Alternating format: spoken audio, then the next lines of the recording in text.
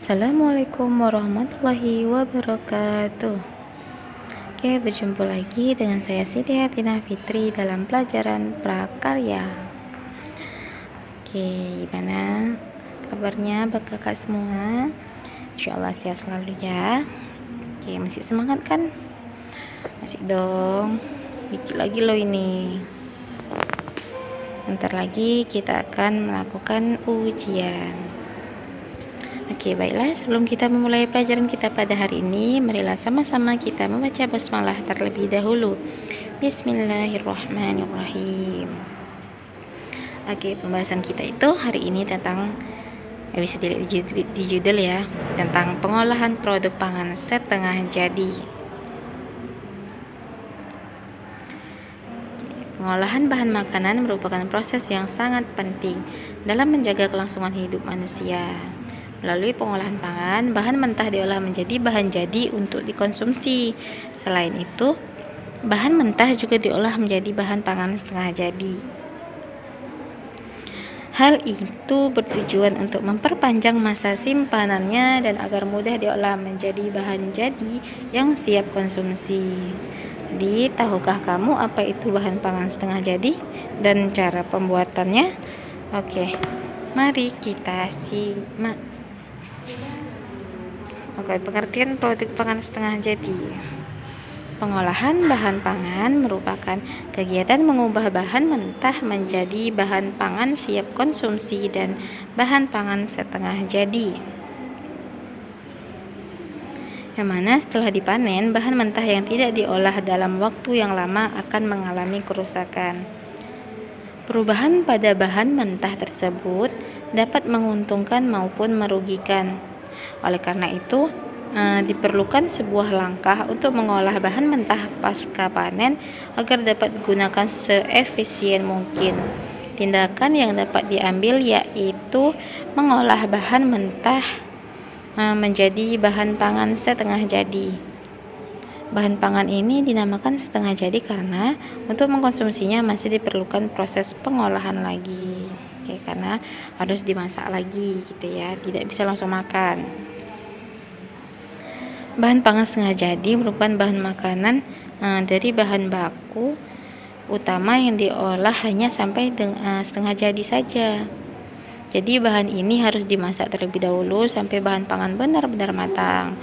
Oke, contoh uh, contoh olahannya itu uh, tepung tepung, makanan beku, mie instan, hmm, dan lain-lain. Kan bisa kita lihat tepung kan nggak bisa langsung dimakan kan, pasti harus diolah dulu.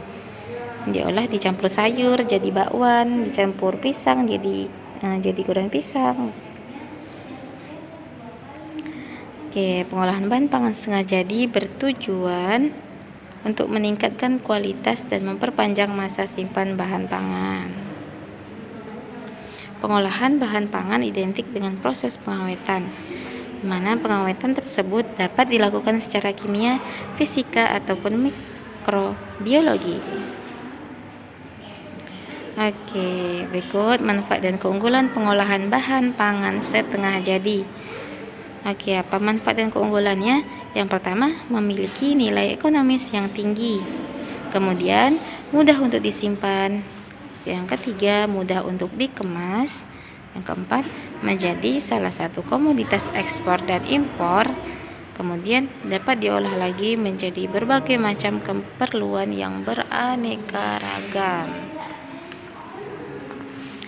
Oke, selanjutnya pengolahan produk pangan setengah jadi. Oke, bahan pangan setengah jadi diproduksi dengan melewati proses pengolahan yang hampir sama dengan makanan yang siap konsumsi. Bedanya itu, kalau siap konsumsi langsung uh, diolahnya langsung siap, siap langsung bisa dimakan. Sedangkan kalau untuk olahan yang setengah jadi cuma uh, setengah jadi aja tujuannya itu agar tidak busuk gitulah. Dan agar bisa digunakan uh, uh, lebih lama gitu. Jadi pada bahan pangan setengah jadi terdapat beberapa perbedaan dalam teknik pengolahannya. Adapun beberapa teknik pengolahan tersebut antara lain sebagai berikut. Yang pertama, fermentasi. Fermentasi merupakan pengolahan bahan pangan dengan menggunakan aktivitas mikroorganisme secara terkontrol.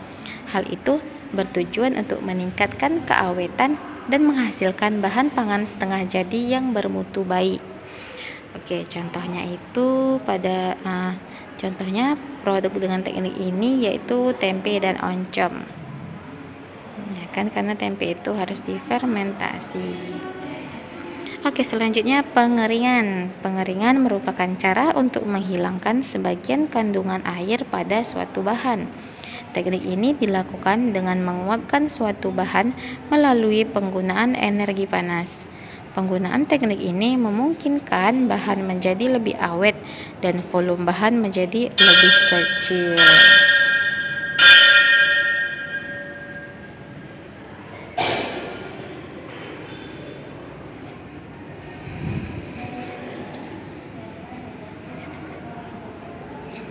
Oke, selanjutnya masuk ke penggilingan. Penggilingan merupakan proses penghancuran produk ke dalam mesin penghancur.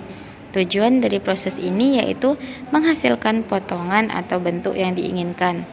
Proses ini dapat dilakukan menggunakan mesin penggiling tradisional maupun modern. Oke, selanjutnya masuk ke penyosohan. Oke, siapa yang sudah tahu uh, mengenai penyosohan? Ya, mari kita lihat, mari kita dengarkan. Penyosohan merupakan proses pengupasan kulit pada biji. Proses ini dapat dilakukan dengan menggunakan mesin.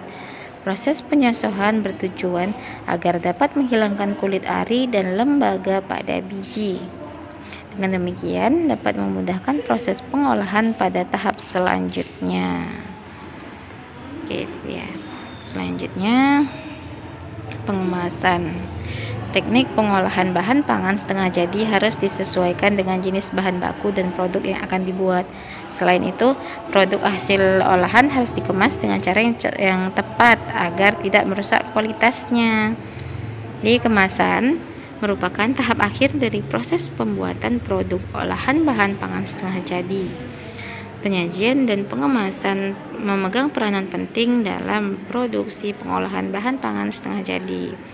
Hal itu dikarenakan bahan pangan tersebut agar dapat bertahan lama sebelum diolah menjadi bahan pangan yang siap konsumsi. Pengemasan yang tepat tidak akan merusak kualitas serta kuantitas dari produk bahan pangan setengah jadi. Kemasan pada produk pangan setengah jadi dapat dibungkus pada kertas maupun plastik. Pada prinsipnya, kemasan harus bersifat kedap udara agar bahan pangan setengah jadi tidak terkontaminasi eh, terkontaminasi dengan bakteri. Iya, karena takutnya kalau terkontaminasi eh, dia tidak akan jadi, takutnya dia jadi busuk. Karena eh, bakteri-bakteri yang tidak diinginkan itu masuk. Jadi gagal deh. Oke, itu aja tadi pembahasan kita. Oke, untuk kuisnya sudah ngerti kan dengan produk pangan setengah jadi? Sudah tergambar kan? Oke, jadi untuk kuisnya itu tulislah contoh hmm, contoh-contoh bahan pangan setengah jadi yang dihasilkan dari serealia, kacang-kacangan, dan umbi. Oke, nah, saja kasihlah satu contohnya, misalnya Nah, contoh bahan pangan setengah jadi dari serealia itu uh, tepung jagung, gandum. Oke, jadi kan itu kalau tepung itu nggak bisa langsung dimakan kan? Ya kan dia masih setengah jadi. Oke, jadi nah itu jadi tuliskanlah contoh-contoh dari serealia, kacang-kacangan, umbi. Jadi buat sebanyak-banyaknya karena mempengaruhi uh, nilainya juga ya. Oke, baiklah. Sekian saja pertemuan kita pada hari ini. Marilah sama-sama kita membaca hamdalah.